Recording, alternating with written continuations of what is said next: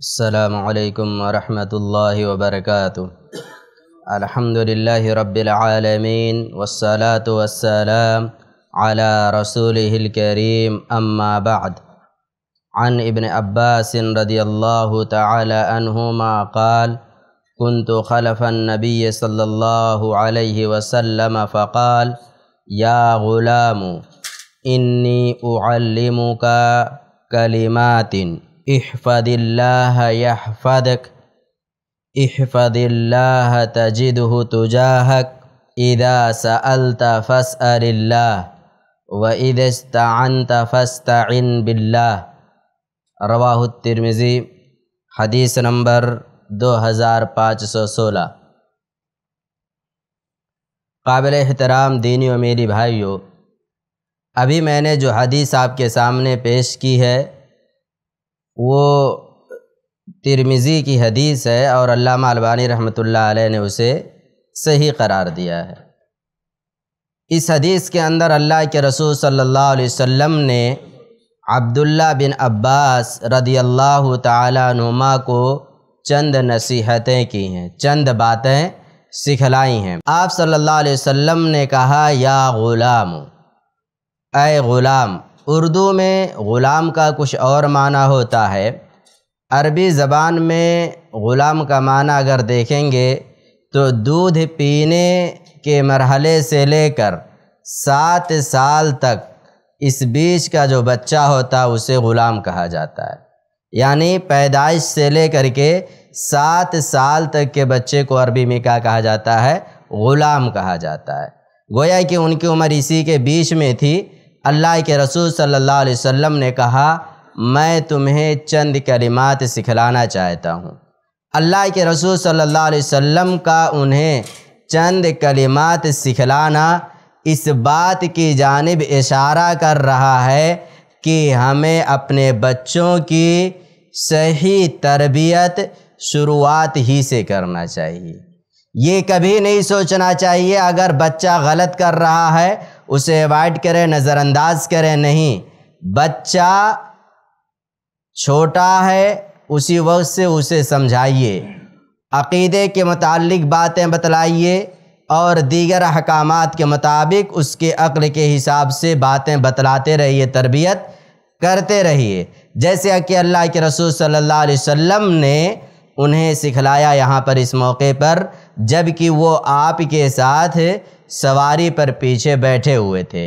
वो बातें क्या थी जो अल्लाह के रसूल सल्लल्लाहु अलैहि वसल्लम ने उन्हें सिखलाई? सबसे पहली बात अल्लाह के रसूल सल्लल्लाहु अलैहि वसल्लम ने उनसे कहा, इहफ़दिल्लाह या हफ़द तुम अल्लाह को याद रखो, अल्लाह तुम्हें याद रखेगा। क्या बात की अल्लाह के रसूल ने? तुम अल्लाह को याद रखो, अल्लाह तुम्हें याद रखेगा। इस हदीस का मतलब ये है कि ए बच्चे, तुम अल्लाह के हदूद का ख्याल रखो। तुम अल्लाह के हकूक़ को अदा करो। अल्लाह रब्बुल आलमीन ने जिन बातों पर अमल करने का तुम्हें हुक्म दिया है, तुम उन बातों पर अमल करो। और जिन चीज़ों से अल्लाह रब्बुल आलमीन ने तुम्हें मना किया है, तुम उससे रुक जाओ। यही अल्लाह को याद करना हुआ। और जब तुम अल्लाह को याद करोगे तो अल्लाह भी तुम्हें याद करेगा। ज़ाहिर सी बात है, अगर आप किसी का ख्याल रखोगे तो वो भी आपका ख्याल रखेगा कि नहीं रखेगा? बेआईनी ही यही मामला रब्बुल आलमीन का भी है। रब को याद करोगे, रब भी तुम्हें याद करेगा। और अल्लाह हमें किस तरीके से याद करेगा? अल्लाह रब्बुल आलमीन हमारी हिफाजत फरमाएगा। हमारे दीन की हिफाजत फरमाएगा, हमारे अक़ीदे की हिफाजत फरमाएगा और इसी तरीके से हमें शुकूक व शुबहात से महफूज रखेगा। ये शुकूक व शुबहात बहुत ख़तरनाक बीमारी है, जो इंसान शुकूक व शुबहात के बीमारी में मुब्तला हो जाए, उस शख्स को हदीसों में भी शक होने लगता है, उस शख्स को कुरान में भी शक होने लगता है। गोया कि अल्लाह दीनी एतबार से भी हमारी हिफाजत फरमाएगा और उखरवी एतबार से भी हमारी हिफाजत फरमाएगा। लेकिन ये कब होगा? जब हम अल्लाह के हदूद और उसके हकूक़ की अदायगी में काहिली और सुस्ती नहीं करेंगे। और इसी तरीके से फिर आपने फरमाया, अल्लाह को याद रखोगे बच्चे तो अल्लाह को तुम अपने सामने पाओगे। अल्लाह को याद रखोगे तो अल्लाह को अपने सामने पाओगे। मतलब ये है कि अल्लाह रब्बुल आलमीन तुम्हारे साथ रहेगा। अल्लाह को याद रखो, अल्लाह तुम्हारे साथ रहेगा। उसकी रहमतें तुम पर नाजिल होती रहेंगी। वो तुम्हारी हिफाजत फरमाएगा। हर एतबार से वो तुम्हारे साथ रहेगा। उसके बाद में फिर आप सल्लल्लाहु अलैहि वसल्लम ने उनसे कहा, इदा साल तफस अल्लाह अय बच्चे, जब तुम्हें कुछ मांगना हो तो रब्बुल आलमीन से मांगना।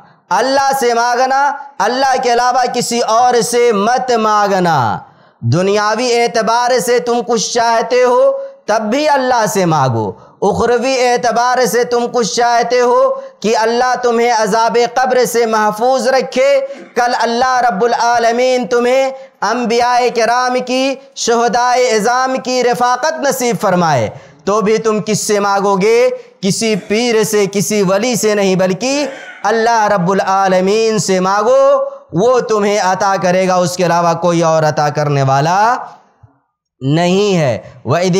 तफस्ता इन बिल्लाह। और जब तुम दद तलब करो तो अल्लाह रब्बुल आलमीन से दद तलब करो। उसके अलावा किसी और से मदद मांगना जायज़ और दुरुस्त नहीं है। ये अकीदे की बड़ी अहम बात थी जो अल्लाह के रसूल सल्लल्लाहु अलैहि वसल्लम ने अब्दुल्ला बिन अब्बास रदी अल्लाह ताला अनहुमा को सिखलाया। तो ये हदीसें हमें बतलाती हैं कि हमें अपने बच्चों की तरबियत और उनके अकीदे की असलाह बचपने ही से करनी चाहिए। उसी वक्त से ध्यान देना चाहिए। अल्लाह रब्बुल आलमीन से दुआ है अलामीन तो हम तमाम लोगों को अपने बच्चों की सही तरबियत करने की तोफ़ी दे।